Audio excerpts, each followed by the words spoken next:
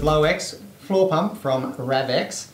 Equipped with a steel barrel for longevity and high pressures, this pump is very well equipped for those with both clincher tyres and with tubular tyres. Very capable of high pressures, 160 psi is not a problem for this pump. It also has on the gauge a marker, so for those of you with short sighted, just like myself, you'll find it easy to find the pressure you're after.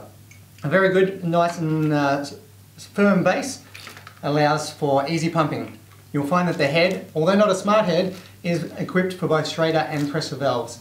If you have any other questions about the RAV-X Blow-X, check the product listing at cyclingexpress.com.